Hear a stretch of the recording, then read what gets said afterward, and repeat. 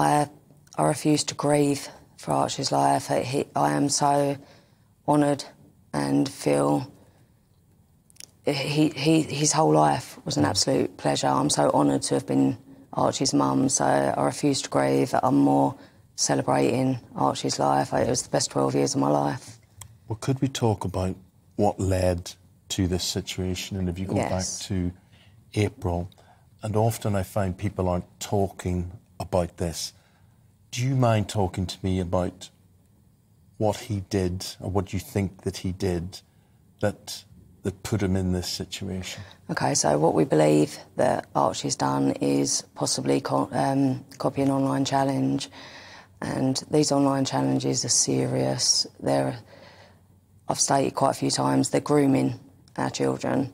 You know, these are adults that children look up to. Uh, Children don't look at adults and think for one minute they're going to put us in danger. Um, I have obviously started researching and absolutely horrified to watch grown men putting things around their neck, showing these children. Showing children what to do, and you feel that Archie copied this, did this, entered into this challenge. Yes, I do. And will there be any uh, progression on this front? Will there be any opportunity to to track down uh, someone who was at the other end of this, or prosecute them, or bring them to justice?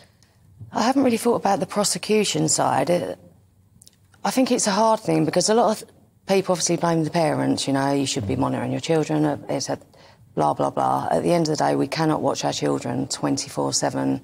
Archie's twelve years old. Uh, I'm I'm pretty much behind Archie. Like was behind Archie twenty four seven. You know, there are times when they do require their own privacy or they want their own time out.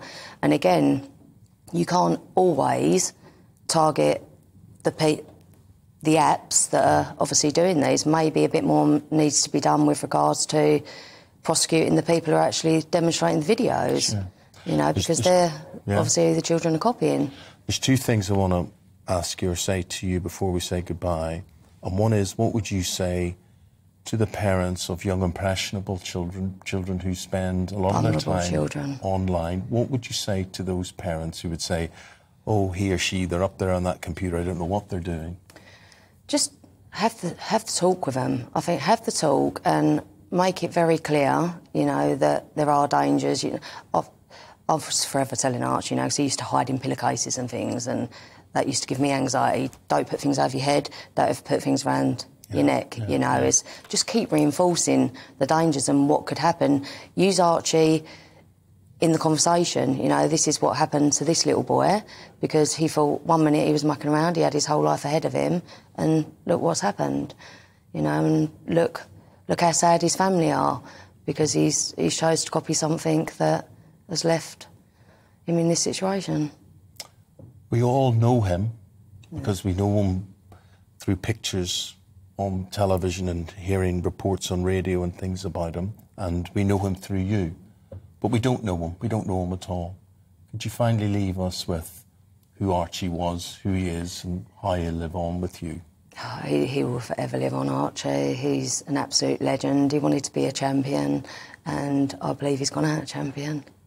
Champion what? just a, a, he's just a champion. He- He's my little champion, and I think he's left an impact on everybody, and hopefully prevent a lot of people or a lot of children copying the same thing. He's he's brilliant. I love him to bits. He's brilliant. And you're going to be his champion forever.